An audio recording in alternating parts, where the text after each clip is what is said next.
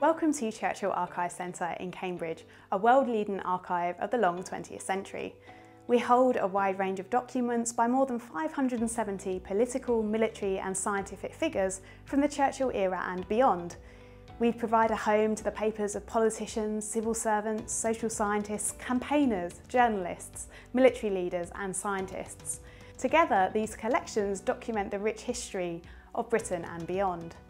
As a researcher, you can look at the material in our reading rooms, or you can make use of our free copying service where our archivists will send you digital scans of material within our collections.